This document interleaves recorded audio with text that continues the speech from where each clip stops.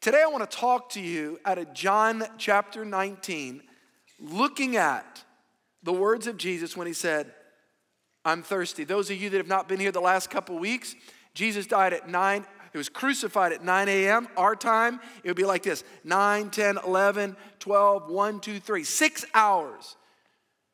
He hung on the cross and he gave up his spirit at 3 p.m. John chapter 19, verse 28. Here we go. After this, Jesus knew that everything had been done. He accomplished his purpose. He's dying for the sins of humanity. He's coming to this last moment so that the scripture would come true. He said, I'm thirsty. So the scripture would come true. He said, I'm thirsty. What does I'm thirsty have to do with making the scripture come true? We're going to look at that in a moment. There was a jar full of vinegar there. So the soldiers soaked a sponge in it, put the sponge on a branch of a hyssop plant, and lifted it to Jesus' mouth. It's interesting, when I was reading the Bible years ago, I coupled things. And for those of you maybe that have seen this or heard this, or maybe you've seen the movie, The Jesus of Nazareth, and, and you see guards, they're lifting up something and they're, they're, they're putting this moment where they're putting, putting something to quench the thirst of Jesus to the lips of Jesus. There's actually two different points in the crucifixion where Jesus is offered something to drink. Now, I coupled the two for years. And then I realized one day, time out, hold on. In the beginning of the crucifixion, he was offered something to drink and he refused. Right at the end of the crucifixion, he's offered something to drink and he accepts. What's the difference of the scenario when he refused versus when he accepted? We're studying today at the end when he accepted. But why did he refuse? Mark chapter 15, the very beginning of the crucifixion. This is important. Two different times he's offered. One he refuses, one he accepts. Mark chapter 15, verse 23. Here's the one in the beginning he refuses. He's, he's crucified. I mean, literally, they raise up the cross, and the soldiers, watch what they do. The soldiers tried to give Jesus wine mixed with myrrh to drink but he refused. This is the beginning of the crucifixion. Question Why did Jesus in the beginning refuse, and at the end of the crucifixion, he accepted? What, what, what was the difference? Well, it's interesting. The Bible says that he refused. There was, it was wine mixed with myrrh. Do you guys remember the classic story that we all love to hear about. Matter of fact, there's school plays about this. I was in the school plays of the, the tale of the, the three kings and, you know, the kings that came to Jesus at the manger. And, and what did they bring? Here's what they brought. Here's what they brought. They brought, come on, say it, gold and frankincense and what? Myrrh. What is myrrh? Myrrh is a resin. It comes off of a plant in Bible times. And myrrh was, it was a very efficient commodity. It was used to do a whole bunch of things like embalming the dead, to all different types of things. But one of the things that myrrh was actually used for in the first century church, this is fascinating, is myrrh was actually used to be placed in some sort of a liquid, often wine, and it was given to people, watch this, as a painkiller.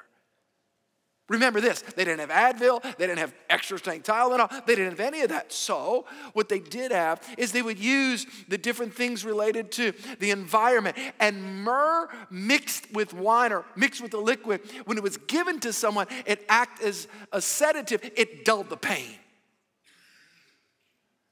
So, why did Jesus refuse wine mixed with myrrh? By the way, this was customary. Anybody that was crucified in Bible times, they would actually give somebody the opportunity to receive this. Why? It was almost like a gracious act at the end of their life to give you this, to, to in a sense, anesthetize the pain as you're dying publicly. He refused it. Often thought about that. Why did Jesus refuse it? I believe he refused it because he didn't want to be without his full mental and emotional faculties. In other words, he wanted to fully experience in his body, in his mind, in his emotion. He wanted to experience the judgment and the wrath of sin upon his life and the judgment of God upon his life. In other words, he wanted to be fully cognizant. He didn't want to be half in, he wanted to be all in. Everybody say all in. He wanted to experience the full impact of your sin and mine. Yeah. It's interesting when you understand something about myrrh. Myrrh was a bitter taste. And it's interesting when I begin to think about what bitterness, emotional bitterness, does. And the connection between myrrh and the sense of the physiological dimension of how myrrh temporarily dulls the pain in the sense of that crucifixion or the different times when people would take it. But in another sense, bitterness temporarily also dulls emotional pain. Uh, you know, you're in a relationship with somebody, things don't work out the way that you thought, and you get disappointed. Here's how it works. You guys ready? Here's what you're in a relationship, you get disappointed, then it moves. If you don't manage that right, it can move to unforgiveness where you hold them in contempt. But then if you don't deal with the unforgiveness, there's like a final step, and it goes from unforgiveness to bitterness. And when you have bitterness in your heart because of being wronged by somebody, bitterness temporarily, it actually dulls the pain. What you do is you actually drink the cup of bitterness. It kind of gives you that little jolt where it dulls the pain, but it actually imprisons the soul. Don't drink the cup of bitterness. Refuse the myrrh. Some of you guys have been in tough situations and you've been hurt, you've been neglected, you've gone through a painful breakup, something's happened, it didn't, it wasn't right, and and and you, listen, and you've been disappointed. By the way, Jesus said these things are going to happen in life, but don't let it go to unforgiveness and don't let it go to bitterness, because when you take the cup of bitterness and you drink the cup. It gives you a temporary shot where you feel protected and anesthetized to the pain, but you don't realize you've actually imprisoned yourself. Everybody say, refuse the cup. Don't drink the bitterness. So, the question then we've got to ask today is what do we learn about the words of Jesus, I'm thirsty? Three things I want to talk about today. Number one, I want to talk about the words, I'm thirsty. There's a theological reason he said that. Number two, there's a prophetic reason he said that. I'm going to talk to you about what does that mean, prophetic, prophecy, what does that mean? And number three, there's a personal reason for all of us. So there's a theological reason, there's a prophetic reason, and there's a personal reason. Number one, why did Jesus say, I am thirsty? Some of your Bibles say, I thirst. Why, why, did he say that? Number one, I believe that Jesus said, I am thirsty to demonstrate theologically that Jesus really was a human being. He really was a human being. There was a heresy in the first century that said Jesus only appeared to be human. In other words, it wasn't what you thought. He, he's not real. He's God, but he only appeared to be human. I want to help everybody theologically. Jesus Christ, listen, was 100% God, but he was also 100% man. It wasn't like 50 50, mix it together, kind of a hybrid. No, he was 100% man and 100% God. Theologically, that's called the hypostatic union. Now, why is that important? Because as a man, Paul talked about this, by the way, in Philippians chapter 2. Here's what Paul said. This is so important. Paul said, But he gave up, Philippians 2, verse 7, but he gave up his place with God and made himself nothing. He was born as a man. He wasn't like a man. It wasn't illusion. It wasn't a holographic image. It, it wasn't some mirage. He was literally, physically a man. And he had needs of thirst and hunger. He's a real man, real God, but real man. He said he temporarily gave that up and, and made himself of nothing. He was born as a man and he became like a servant. And when he was living like a man, he humbled himself and, and he was fully obedient to God, even when that caused his death, the death on the cross. Why is it so important? Because real humans, listen, bleed. Illusions of a man don't bleed, real humans bleed. Jesus bleed from, bled from his side. Jesus cried out in pain, My God, my God, why hast thou forsaken? Okay, okay, listen. Illusions of a man don't cry out in pain. but real men do. Illusions of a man, they're not thirsty because they're not real beings. Jesus was a real human being. In other words, him saying, I'm thirsty, demonstrated, listen, the veracity of his humanity. He was really a man. Why is that important? Because he can really relate to us. Uh, you guys remember as kids seeing Wizard of Oz, and like you know, you know the guys out there, the guys behind the curtains, and there's just like this whole thing. Can, can, I tell you something? Jesus, let me tell you, we don't serve a God that's Wizard of Oz. We don't serve a God that's like way far off there. He doesn't get us, and there's just some fire and this this thing. We actually serve a God that became one of us and understands us and can help us when we're going through the pains of life. Because can I tell you, He's been rejected, He's been alienated, He was mocked, He was scorned. He gets you and I in our pain. How many are grateful that God knows? He knows. Some of you guys are going through some tough stuff right now. The Bible says in Hebrews, listen, we do not have a high priest who cannot sympathize with our weaknesses. He understands. When you go to pray to that God, he no, he's like, I've been there. And he also has the power to help us. So I thirst. Everyone say, I thirst. He said that from the cross, number one, for a theological reason, number two, for a prophetic reason. A prophetic reason. This is really interesting. John chapter 19, verse 28. John the Apostle wrote this. He said, Jesus knew that he had now finished his work. What was his work? The work of redemption, to procure and to secure the salvation for humanity, to die on the cross for your sins, for my sins. He, he knew that his work was coming to the end. And in order, here's the second thing. So, he did this to accomplish his work, and in order to make the scriptures come true, stop right there. What do you mean, in order to make the scriptures? Don't miss this point, people. This is so important. Every location, this is so critical to what's called prophecy in the Bible. I'm not talking about prophecy and end time events, that's another dimension. I'm talking about messianic prophecies. Please stay with me. He said, in order to make the scriptures come true, he said, I am thirsty. What does the words, I am thirsty, have anything to do with the scriptures coming true? How, does him saying, I am thirsty, testify and verify the veracity of the word of God? How does that relate at any level? All right, I'm gonna help everybody for those of you that are maybe new to Christianity, maybe you're just like into this, you're checking this out. Maybe you've never crossed the line of faith, and, and we're honored that you're here. Every week we're honored wherever you're watching, whatever location you're at. Here, here's, this is very important. The Bible is divided in the Old Testament, the Old Testament, and New Testament. The old, in the Old Testament, there are over 300 what's called messianic prophecies. In other words, prophecies about the coming Messiah over 300. And in the Old Testament, this is so interesting. And in the Old Testament, some literally hundreds and even thousands a year before there was a literal person named Jesus on the earth.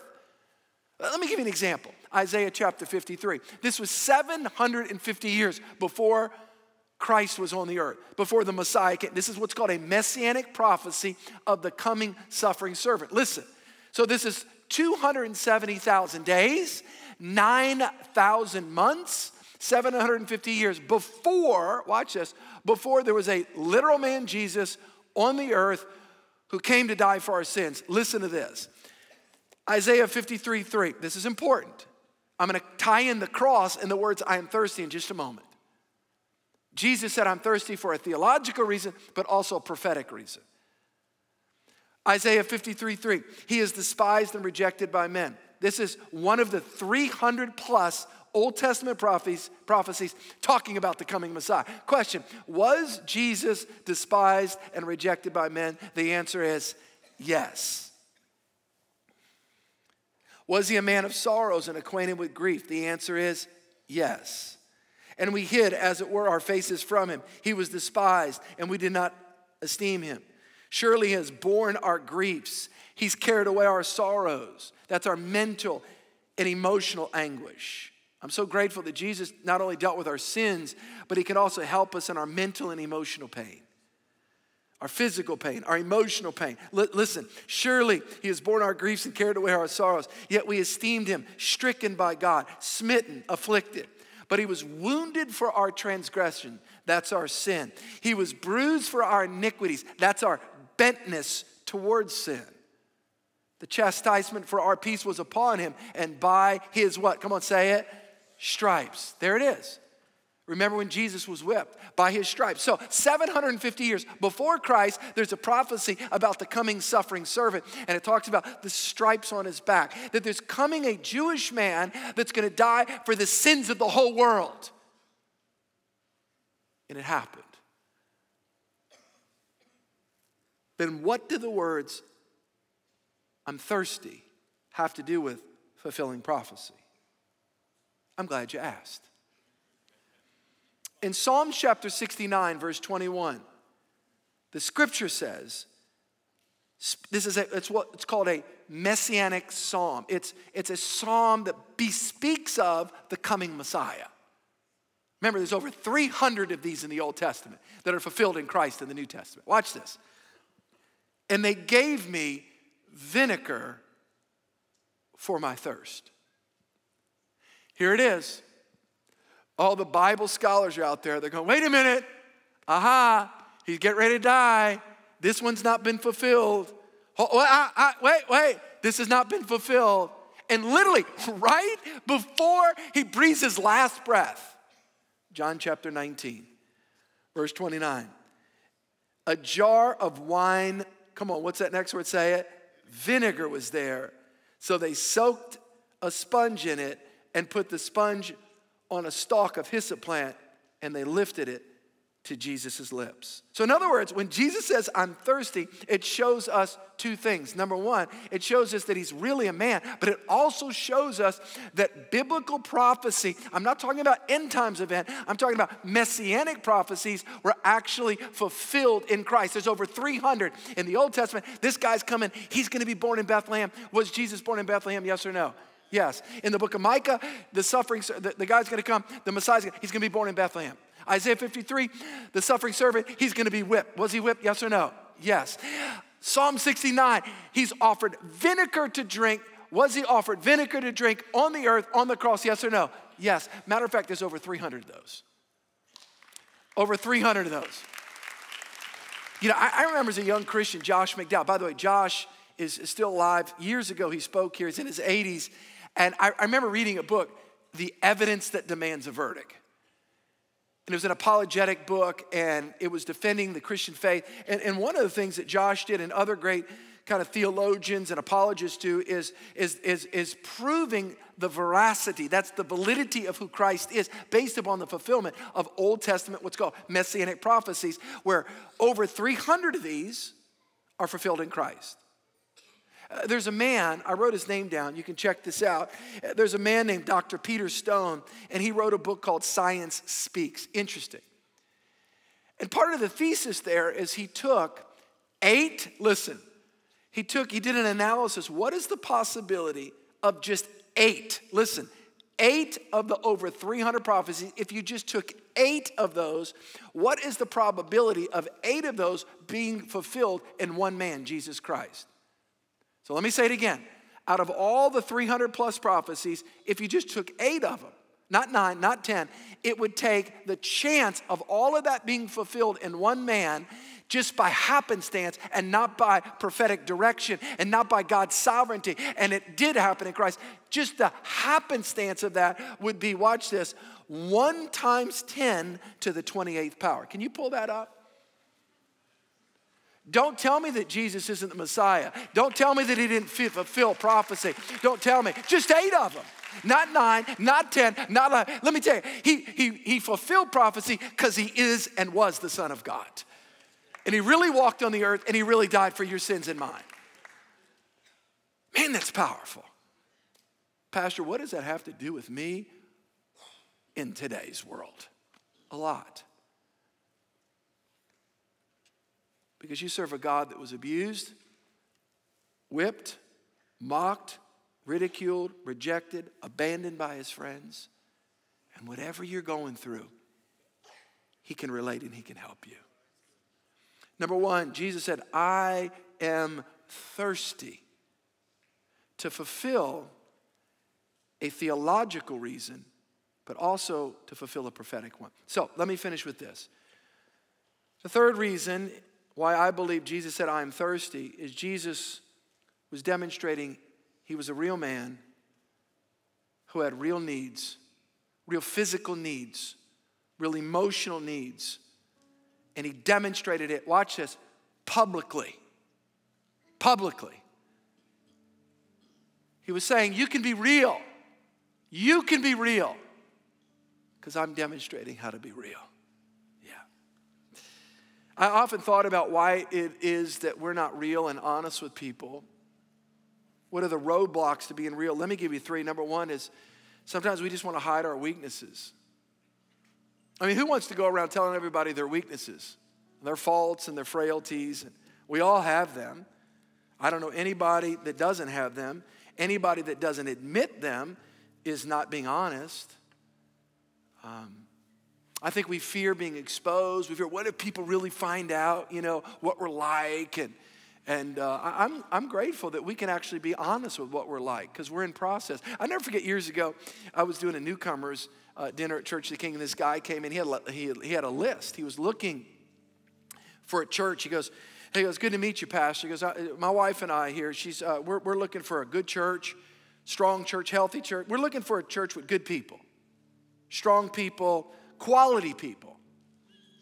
Qual- we want a good group of quality people and solid people. The more he went down the list, I'm like, man, I don't even know if I fit all those qualities. I, that, that, no, you're looking for a perfect church. There's, I'm sorry, sir, we don't have perfect people at church. We have imperfect people at Church of the King that love God that are in process. So you probably ought to go down the church, the street, because there's that's the perfect church. We're the imperfect church, but we love God, and that's as good as we can offer. How many are grateful that God loves us in our imperfections?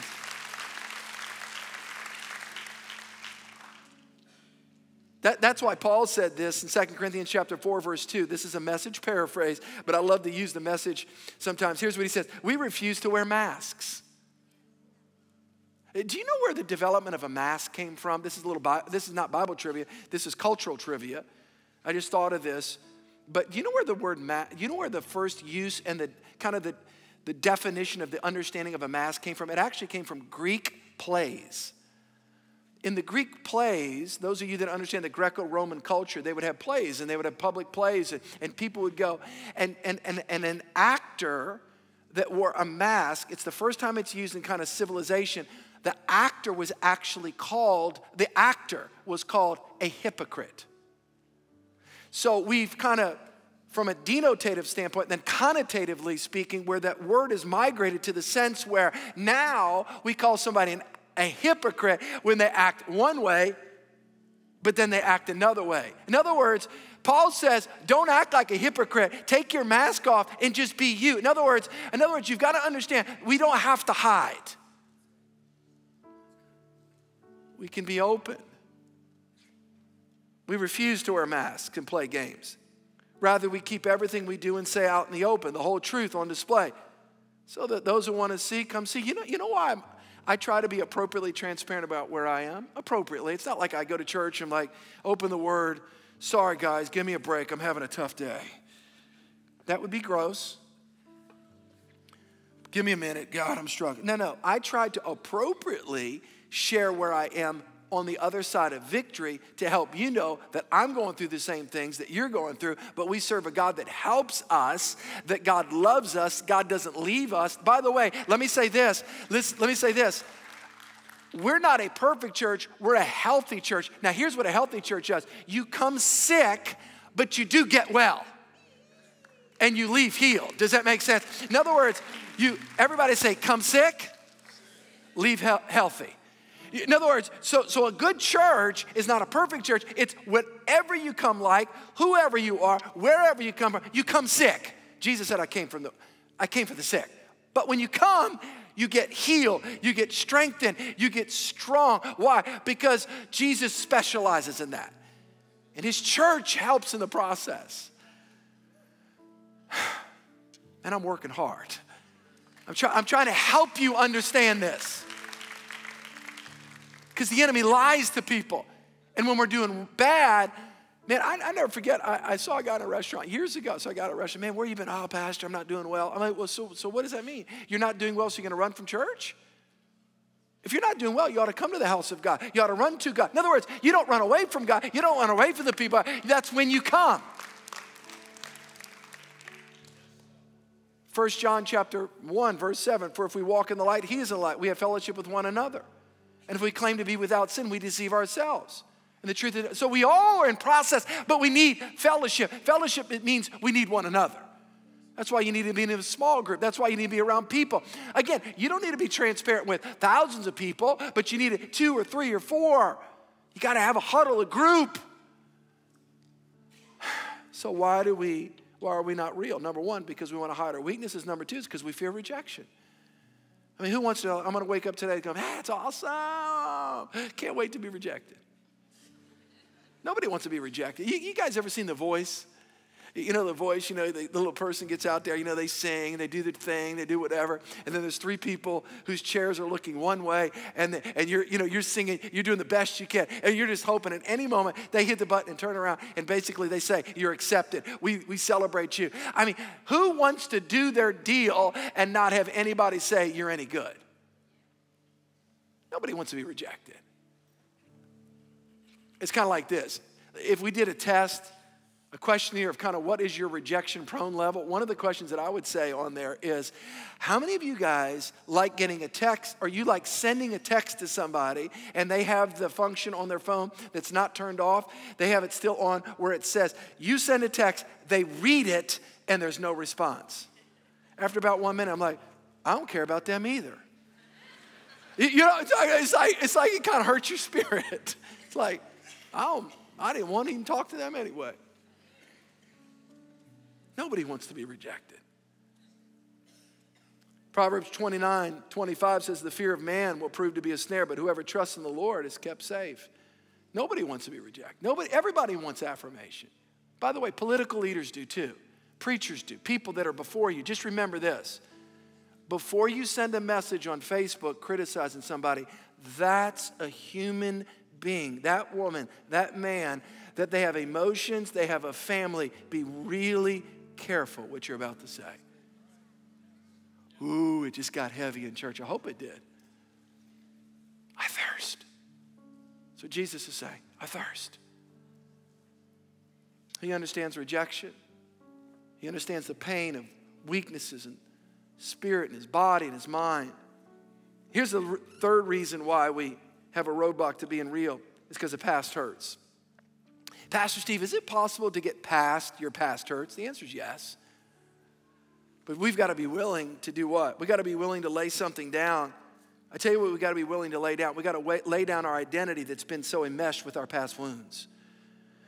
I can't tell you the people that I've talked to and I've pastored and I've led and counseled over the years and I'm like, hey, there's only one way to move into the future is you got to lay down your past. And the way you got to lay down your past is your identity is so fused and emerged with your past. Your past colors your present, and it also is about to color your future. I know it was wrong what happened to you. I know it was painful. John or James chapter 5 verse 16 says therefore confess your sins to each other and pray for each other so that you may be healed. We are forgiven by God, but healing comes through relationships in the body of Christ. By the way, how did you get hurt? The devil stirred somebody up and they hurt you. How do you get healed? God stirs somebody up and God uses people in the healing process. That's how it happens. That's how it happens. There's a lot of forgiven Christians that are not healed. Whenever I hear anybody, I've been doing this a long time, by the way. Whenever I hear anybody, I don't go to church, I just it's just me and Jesus. That's a person who's a Christian that got hurt in relationships, and I understand it was painful, and they just thought, I'm gonna wall off and I'm gonna do Jesus and Christianity by myself. And, and I'm not suggesting you can't go to heaven, but you won't experience the fullness of God for you without the body of Christ. I'm just going to go to the coffee shop and read the book of Revelations by myself. You can do that, and you need to study the book of Revelation. I teach on the book of Revelation. But if you do that isolated from other people, you're going to think you're actually part of the book of Revelation. Then you're going to think you're actually John who wrote the book. You're going to get weird. That was funny. I don't care if you laughed or not, that was funny. Isolated Christians get weird and picked off by the devil. Let me say that to every location. Isolated Christians get weird and picked off by the devil. But Christians that are with one another and they're connected in the body of Christ. And I know it's been hurtful, and I know it hurt, and I know it was wrong, but you got to forgive. Everybody say, forgive, and you got to trust again. So, why do we have roadblocks to being real sometimes? Because we just don't want to, we don't want anybody to see our weaknesses. That's why I love Church of the King. I love our small group leaders. I love this house that you can come sick, you can come broken, and this is a place to get healed and restored and raised back up. But our hidden weaknesses, our fear of rejection, our past hurts, thank God for the body of Christ. Colossians 2:19. It is from him that all parts grow of the body and are cared for and held together. I need the body of Christ. You need the body of Christ. We need one another. So it grows in the way God wants it to grow. I thank God I am where I am today. I've not quit many times because of men around me that have loved me and cared for me. How many are grateful for the body of Christ? Come on. How many are grateful? Man, I'm grateful for the body of Christ. Maybe you're not in a small group. If you just text the word connect, just text it, the word connect to 822 822 let them know as information comes. You want to get connected in a small group. We have lots of them all around our campuses. We have online groups. So I'll close with this. Where are you with God? I thirst. It's a theological reason. He was fully God, but he was also fully a man. And Jesus was dying on the cross for you. Matter of fact, I'm going to ask everybody to bow their heads. Can you do that all across our locations? Those that are joining us online in just a moment, I want to let you, you need to let the host know the online hosts know what Christ is doing in your life. Maybe you don't know Jesus. Maybe you're not ready to stand before God. I want to pray for you. The Bible says, whoever calls upon the name of the Lord shall be saved. You don't change first and then come to God. You simply come to Christ. You open your heart to Jesus, say, Jesus, come into my life. Forgive me, wash me, cleanse me, and make me new. Do you know Jesus? Do you know that you know if you die today, you're ready to stand before God? In just a moment, every one of our locations at the count of three say, Pastor, pray for me. I need the blood of Jesus to wash me. I'm not at peace with God. I want to surrender my heart to Christ. If that's you at the count of three, I want you just to lift your hand up high. Pastor, pray for me. If that's you, one, two, three, quickly hold your hand up high. So God bless you right there. God bless you and you as well. God bless you up top. God bless you. Anybody else? God bless you way up top, sir. God bless you right there. Pastor, pray for me. I need Christ. I'm not sure about my. God bless you, sir. Anybody else? Pastor, pray for me. I need Christ. God bless you up top as well. God bless you. Church, can we pray with those that are trusting Christ? This is a very important moment each week in our service. Come on, let's all pray together as the body of Christ. Come on, can we pray with them? Say, Dear Jesus, I come to you today, a sinner in need of a Savior. Say, Jesus, I repent of my sin. I let go of my past and I turn to you. I turn to the cross. Say this say, Jesus, wash me with your blood. Give me a new heart, a new life, a new reason to live. I want you to say this say, Jesus, I take my life and I put in your hands. From this day forward, I belong to you. Let me pray. Father, I thank you for the sealing work of the Holy Spirit and the Word of God taking root deep in the hearts of your people. In Jesus' name. Wow, what an amazing message. And we want to take just a minute right now to acknowledge those of you who, after hearing about being vulnerable, maybe in this moment right now, you are admitting your need for a Savior. Maybe you're making the decision right now to give your life to Jesus for the very first time. We just want to say, congratulations. This is a big deal. This is the best decision you could ever make. And we want you to know that scripture is clear. You are not just a better version of yourself. You're not just gonna hopefully be better. No, the Bible says you are a brand new creation. The old is gone, the new has come. Your regret, your sin, your shame is no more. You are brand new. And we are so excited as you begin this new journey.